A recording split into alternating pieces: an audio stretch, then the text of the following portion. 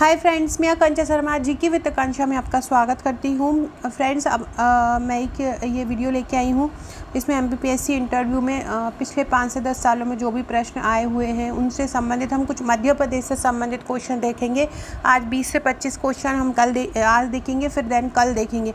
दो वीडियो में ये कंप्लीट होगा। इसके बाद आ, जो भी आ सकते हैं अभी वर्तमान करंट को लेकर कोरोना को लेकर या कौन कौन सा बहुत ज़्यादा हॉट टॉपिक है उससे संबंधित आ सकते हैं तो वो भी हम इसी कोर्स के तहत पढ़ लेंगे। तो चलिए स्टार्ट करते हैं। चैनल पे नए हैं तो चैनल को सब्सक्राइब कीजिए क्योंकि मेरे चैनल पर डेली प्रीलिम्स का मेंस का और वीडियोस आता रहता है।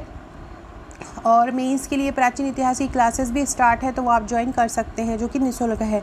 तो चलिए स्टार्ट करें। और इंटरव्यू के लिए मैंने एक व्हाट्सअप पे ग्रुप बनाया है। एक व्हाट्सअप और टेलीग्राम पर, पे भी जुड़ सकते हैं आप। उसमें आप डिस्कसन कर सकते हैं और इंटरव्यूज़ के लिए वहाँ पे क्वेश्चन दिए जाएँगे थोड़े समय बाद। तो आप वहाँ पे ज्वाइन हो सकते हैं। लिंक आपको डिस्क्रिप्सन बॉक्स में मिल जाएगी।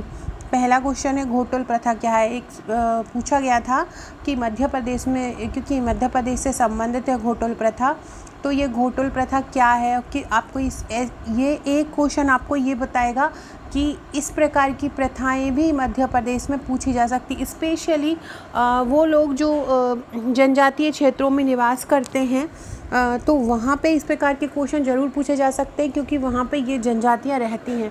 तो उनसे संबंध या कोई व्यक्ति जो इंटरव्यू दे रहे हैं और वो उस विशेष जाति से संबंधित है तो उनको या अपनी जाति से संबंधित जितने भी जो कला और संस्कृति, उससे संबंधित पक्ष आपको अच्छे से कर लेना है। इसके बाद डिप्टी कलेक्टर और एसडीएम में क्या अंतर होता है, ये क्वेश्चन बहुत ज़्यादा पूछा गया है तो इस क्वेश्चन को आप अच्छे से कर लेना। पहले हम क्वेश्चन देख लेते हैं, फिर हम आगे जब हमारी वीडियोस बढ़ेंगी तो हम इनके आंसर्स हमको किस प्रकार से देना है तो वो भी मैं करा दूँगी। तीसरा क्वेश्चन है, आप क्यों प्रशासन में आना चाहते हैं? ये दूसरा और तीसरा क्वेश्चन तो मतलब आपको इस प्रकार के क्वेश्चन तो बहुत अच्छे से रटी लेना है अभी क्योंकि लॉकडाउन है तो कहीं पे भी इंटरव्यूज़ की क्लासेस नहीं चल रही हैं तो आप स्वयं भी कांच के सामने बैठकर भी आ, आप अपनी इंटरव्यूज़ की तैयारी खुद से कर सकते हैं। व्यक्ति सेल्फ जो कर सकता है वो कहीं दूसरे जगह से नहीं कर सकता है लेकिन आ, आप जब जब भी लॉकडाउन खुल जाएगा तो आप इंटरव्यूज़ के लिए आ, को, को, कोई भी कोचिंग ज्वाइन कर लीजिएगा तो उससे क्या होगा कि एक प्रैक्टिस हो जाएगा या रिज़ल्ट आ जाए उसके रिज़ल्ट के बाद कर लीजिएगा। बीस पच्चीस दिन की क्लासेस रहती हैं तो वो आप ज्वाइन कर लीजिएगा कोई भी। प्रदेश में पर्यटन को बढ़ाने के लिए क्या उपाय करना चाहिए? ये आपसे पूछ सकते हैं। कि आ, हमारे मध्य प्रदेश जो है एक पर्यटन हब बन चुका है तो उसको और बढ़ाने के लिए क्या क्या करना चाहिए? या मध्य प्रदेश सरकार की पर्यटन नीति क्या है? या आपसे ये पूछ सकते हैं। आप अगर प्रशासन में आए तो आपको पर्यटन को बढ़ाने के लिए प्रदेश में क्या क्या कर सकते हैं? तो ये तीन प्रकार से क्वेश्चन इसका आपसे पूछा जा सकता है। मध्य प्रदेश में साक्षरता की दर इतनी कम क्यों है? ये पूछ सकते हैं। और इसमें ये भी पूछ सकते हैं कि साक्षरता को बढ़ाने के लिए आपके मन में क्या प्लानिंग है? आप क्या करना चाहिए कि साक्षरता दर बढ़ जाए। मध्य प्रदेश में जनजातियों की इतनी बड़ी आबादी होने के बावजूद भी वह आधुनिक सभ्यता से क्यों नहीं जुड़ पाई है? मध्य प्रदेश में इतना ज़्यादा जनजाति है, जनजाति में हम नंबर वन पे हैं पूरे भारत में। फिर भी जो जनजाति होने के बावजूद भी ये जनजाति जो है, क्योंकि जनजाति का बहुमत है, फिर भी ये लोग आधुनिक सभ्यता से नहीं जुड़ पाए हैं तो उसका क्या कारण है? ये कारण आपको बताना रहेगा। और आप इसके लिए क्या प्रयास कर सकते हैं? मध्य प्रदेश में खनिज संपदा संपन्न होने के बावजूद भी इसके उत्खनन में वह क्यों पीछे रहा है? मतलब मध्य प्रदेश में अच्छा खासा खनिज संपदा है, अरे अच्छी खासे खनिज संसाधन है हमारे मध्य प्रदेश में। इसके बाद भी हम इसके उत्खनन में पीछे हैं। उतना ज़्यादा इसका उत्खनन नहीं हो रहा, बीस से बाईस खनिज हमारे यहाँ केवल उत्खनन होता है। तो बहुत ज़्यादा खनिज हमारे यहाँ हैं, सभी प्रकार के खनिज हमारे यहाँ हैं, फिर भी उनका उत्खनन कम मात्रा में होता है, इसका कारण क्या है? ये तो आपका मेंस का भी बहुत इंपॉर्टेंट क्वेश्चन है तो ये तो आपने पढ़ा ही है क्या क्या हमारे यहाँ समस्याएँ चल रही हैं।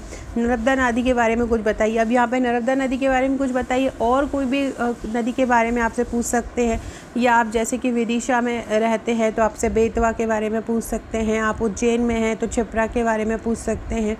ऐसे ही आप गुना अशोकनगर में हैं तो वहाँ की नदियों के बारे में पूछ सकते हैं।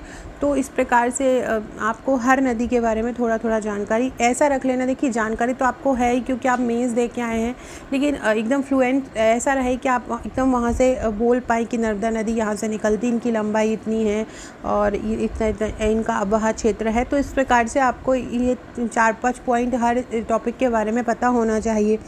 अगर बार बार चुनाव होते हैं तो बार बार चुनाव होने से राजनीति पर क्या असर पड़ता है? ये राजनीति पर भी हो सकता है और आपसे ये भी पूछ सकते हैं कि बार बार होने वाले चुनाव से समाज पर क्या असर पड़ता है क्योंकि हमारे यहाँ मध्य प्रदेश में ऐसा हुआ है। तो ये क्वेश्चन इंपॉर्टेंट हो जाता है क्योंकि सरकार हमारे यहाँ चेंज हुई है। तो ये क्वेश्चन बार बार होने वाले चुनाव से जनता पर क्या असर पड़ता है, समाज पर क्या असर पड़ता है, राजनीति पर क्या असर पड़ता है, आपको ये अच्छे से कर लेना है। एक राज्य से अलग दूसरा राज्य बनाने से या पृथक राज्य बना करने से सरकार को क्या फ़ायदा है?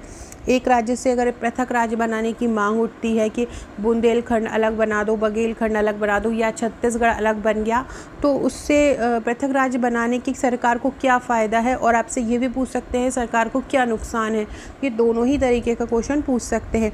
अगला क्वेश्चन बताने बढ़ने से पहले आगे कि मैं आपको नोट्स के बारे में बता देती हूँ। अगर आप प्री की तैयारी कर रहे हैं मेंस की तैयारी कर रहे हैं तो अभी आप मेंस की तैयारी कीजिए, क्योंकि प्री का जहाँ तक पॉसिबल है पेपर एग्ज़ाम अभी बीस जून को नहीं होगा, क्योंकि संक्रमण दर इतनी, इतना ज़्यादा अच्छी नहीं हो पाएगी कि एक साथ इतने सारे लोगों का एग्ज़ाम कंडक्ट करा पाएँ। तो आप लोग अभी मेंस पढ़िए और अगर आप मेंस और प्री के नोट्स लेना चाहते हैं तो मेरा जो मेंस और प्री का पैकेज है, उसमें आपको 68 बुकलेट मिलेंगी, जिसमें 45 बुकलेट आपको मेंस की मिलेंगी और 19 बुकलेट आपको प्री की मिलेंगी। 19 बुकलेट में 16 बुकलेट आपको प्री की नोट्स मिलेंगे यूनिट वाइज और तीन बुकलेट आपको दस हज़ार प्रश्नों की मिलेंगी। दस हज़ार प्रश्न आपको ऑब्जेक्टिव रहेंगे, जिसमें हंड्रेड टेस्ट रहेंगे। ये जो 45 बुकलेट है, मेरे हैंड रिटन नोट्स हैं मेंस के जो जो कि मैं वीडियो में पढ़ाती हूँ, जिनसे ये वही नोट्स इनकी सॉफ्ट कॉपी भी अवेलेबल है और हार्ड कॉपी भी उपलब्ध है। हार्ड कॉपी में आपको 45 में से 12 फ़ाइल थ्री मार्कर की मिलेंगी, आठ फ़ाइल आपको सॉल्ड पेपर की मिलेंगी और 25 फ़ाइल आपको वन से सिक्स पेपर तक की मिलेंगी। इन सब के साथ आपको एक एडवांटेज है, आपको मेन्स की टेस्ट सीरीज़ फ्री मिलेगी और आपको 25 पेड ग्रुप मिलेंगे व्हाट्सएप के। इन ग्रुप में आपको आंसर राइटिंग दी जाती है, आंसर क्वेश्चन दिए जाते हैं अलग अलग प्रकार के नए नए ताकि आप नए नए आंसर किस प्रकार से हल कर सकते हैं आपको पता रहे। अगला क्वेश्चन है, क्या छठवीं अनुसूची को प्रदेश में लागू, अभी छठवीं जो अनुसूची है हमारे मध्य प्रदेश में लागू नहीं है तो क्या उसको मध्य प्रदेश में लागू करने की आवश्यकता है या नहीं है? या जो है अगर हमारे मध्य प्रदेश में तो क्यों है और नहीं है तो वो क्यों नहीं है? बुंदेलखंड की क्या विशेषता है? अगर आप बुंदेलखंड से आ रहे हैं तो ये पूछ सकते हैं, आप मालवा से आ रहे हैं तो मालवा के बारे में पूछ सकते हैं। तो उस क्षेत्र के बारे में आप जहाँ भी, जहाँ से भी बिलोंग करते हैं, उस क्षेत्र के बारे में आपको बहुत अच्छी जानकारी वो होना चाहिए। ऐसी जानकारी उपलब्ध होना चाहिए। वो टू द पॉइंट तीन टॉप लाइन ऐसी होना चाहिए कि आप वहाँ पर बोल पाएँ। एकदम सोचने की आपको ज़रूरत ना पड़े। मध्य प्रदेश के सीमावर्ती ज़िलों के नाम बताइए, जो मध्य प्रदेश है, उसके सीमावर्ती ज़िले कौन कौन से हैं? पूरब में कौन सा है?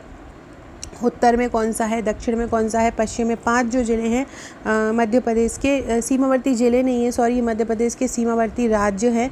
तो मध्य प्रदेश के सीमावर्ती राज्यों के नाम बताओ तो मध्य प्रदेश के जो पाँचों सीमावर्ती राज्य हैं, वो आपको यहाँ पर मेंशन ये तो बहुत ईजी क्वेश्चन है। हाल ही में मध्य प्रदेश में बने तीन नए ज़िलों के नाम बताओ, जो भी अभी रिसेंटली बने होंगे, पचास, इक्यावन, बावन व वो ज़िले आपको बता देना है। मध्य प्रदेश सरकार की तेंदुपत्ता नीति के बारे में बताइए, उसके बारे में बता देना है, क्योंकि हमारे मध्य प्रदेश में तेंदुपत्ता अच्छा होता है तो आपको तेंदुपत्ता नीति के बारे में बता देना है। मध्य प्रदेश की कृषि में उतार चढ़ाव के क्या कारण है, ये आपको बताना है कि हमारे मध्य प्रदेश में कभी कृषि बहुत अच्छी हो जाती है। और हाँ आपसे ये भी पूछ सकते हैं कृषि कर्मण अवार्ड हमारे मध्य प्रदेश के मध्य प्रदेश के संदर्भ में किसी करवण अवार्ड को समझाओ, क्योंकि ये हमारे मध्य प्रदेश को मिल चुका है बहुत बार तो इसलिए ये पूछ सकते हैं। इसके बाद अर्थव्यवस्था में प्राथमिक क्षेत्र का क्या योगदान है, ये आपको अच्छे से कर लेना है। आप अर्थव्यवस्था में प्राथमिक क्षेत्र मतलब कृषि, द्वितीय क्षेत्र मतलब विनिर्माण उद्योग और तृतीय क्षेत्र मतलब सेवा क्षेत्र, इनमें अर्थव्यवस्था में योगदान जीडीपी में योगदान, ये बहुत अच्छे से चल कर लेना है। आपके ज़िले की प्रमुख फ़सल क्या है और वह क्यों वहाँ पे उगती है? क्या ऐसी सर्कमस्टेंसेस है वहाँ पे या क्या वहाँ पे ऐसी वातावरणीय स्थिति है कि वहीं पर ही फ़सल ज़्यादा उगाई जाती है? प्रदेश में साक्षरता बढ़ाने क्या उपाय करना चाहिए और क्या उपाय किए गए हैं अभी तक शासकीय? और अगर आप प्रशासक बनते तो आप क्या उपाय कर सकते थे साक्षरता बढ़ाने के लिए? तो ये क्वेश्चन फ्रेंड्स कमेंट बॉक्स में बताइएगा कि हमारे हमारे यहाँ मध्य प्रदेश की साक्षरता दर कितनी है? और पूरे भारत में और भारत में राज्यों में और केंद्र शासित को मिलाकर क्या, कौन सा स्थान है, ये कमेंट बॉक्स में बताइएगा। तो साक्षरता बढ़ाने के लिए क्या उपाय किए गए हैं? शासकीय। और आप अगर प्रशासक बनते तो आप क्या उपाय कर सकते? तो दोनों का आंसर आप मुझे दीजिएगा। मध्य प्रदेश की महिला हिंसा से संबंधित कोई तीन योजनाएँ बताइए। मध्य प्रदेश सरकार ने हाल ही में मध्य प्रदेश में निवेश बढ़ाने के लिए क्या उपाय किए हैं? इन्वेस्टर्स वगैरह, निवेश इन्वेस्टर्स वगैरह आयोजित कर रहा है, इस बारे में आपको बता देना है। आपके क्षेत्र में सबसे ज़्यादा संवेदनशील समस्या या आपके क्षेत्र में सबसे ज़्यादा समस्या कौन सी है? वर्तमान की किन्हीं तीन संवेदनशील घटनाओं पर प्रकाश डालिए। आपका नाम और आपके नाम का अर्थ बताइए।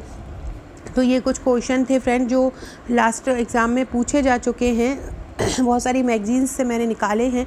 और भी बहुत सारे प्रश्न हैं जो मैं नेक्स्ट वीडियो में बताऊँगी। आप इंटरव्यू के डिस्कशन ग्रुप से जुड़ना चाहते हैं तो व्हाट्सअप में आपको डिस्क्रिप्शन बॉक्स में आपको लिंक मिल जाएगी। साथ में आपको हमारे WhatsApp group Telegram group Facebook और इंस्टा की भी लिंक मिल जाएगी। आप वहाँ से जुड़ सकते हैं। Okay friends thank you